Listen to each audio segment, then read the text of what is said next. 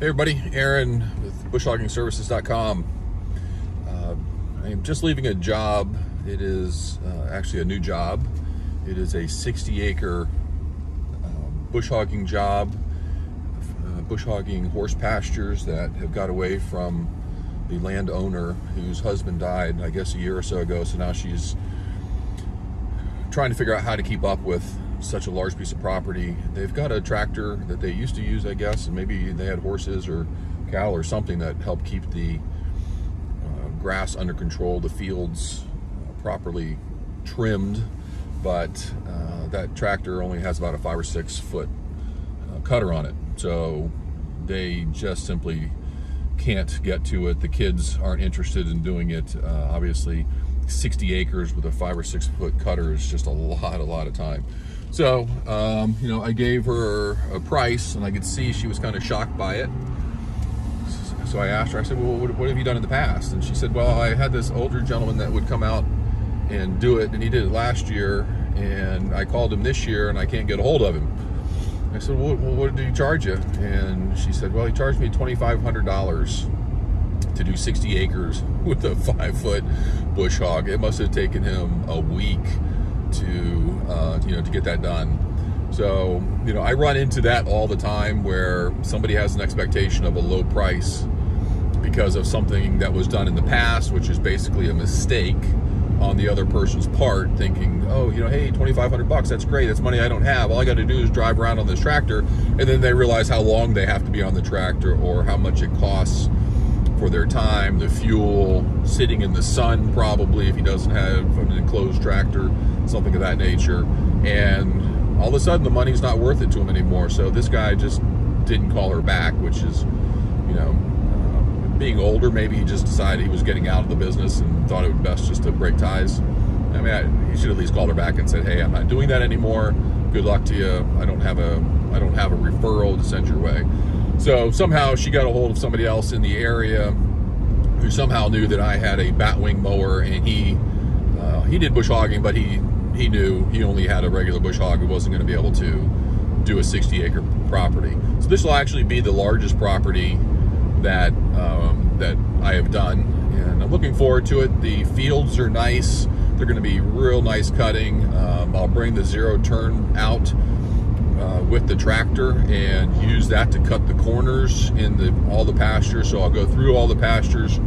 I'll cut the fence line with the zero turn. I'll cut around all the trees uh, that have the fence around the trees to protect them, and then I'll do the corners so I don't have to get involved in you know doing all the backing uh, back and forth, back and forth. Plus, I have to bring the zero turn to get the uh, the path that's in between the paddocks uh, since it's not wide enough for the batwing to open up and actually cut, uh, you know, in that area. So it's going to be a, uh, a big project, but the reason I can do it is because of the investment in an expensive commercial grade batwing mower and 12 feet. Uh, sometimes I wish I had 15 foot mowers for a place like this, but you know, it'll be uh, it'll be relaxing. It'll be you know, probably 24 hours if I can cut, you know, uh, probably three acres an hour. Obviously, it's 20 hours, so two and a half days plus moving equipment and things that nature.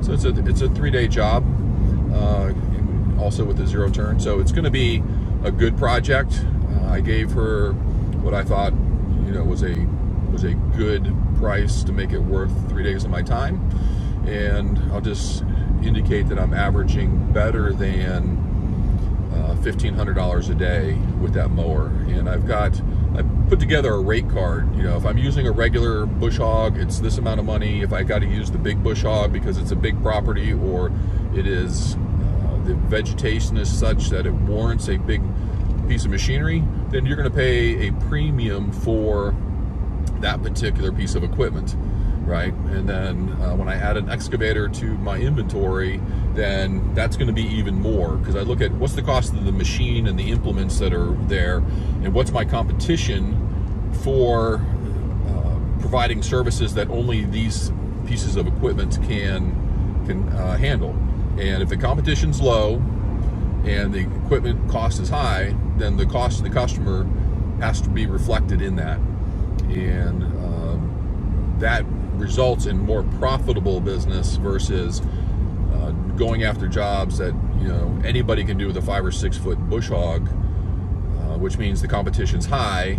The investment is relatively low because that can be a fairly inexpensive tractor and a used bush hog. So, uh, you know, prices are going to be down on that type of service. So it's just, you know, uh, just an example of something uh, that is different and uh, something to think about as you try to build your business uh, with this. This is not full-time work for me. This is weekend work that I enjoy. Um, so it is, I'm in a different situation than a lot of you that are out there, but um, you know, it still produces good income that I enjoy, which allows me to make these investments and uh, stay ahead of it. So that's all for now. You'll see future videos on the property once I start to get cutting on it, which is going to be sometime in the next 30 to 45 days. And uh, stay tuned. So thanks for watching.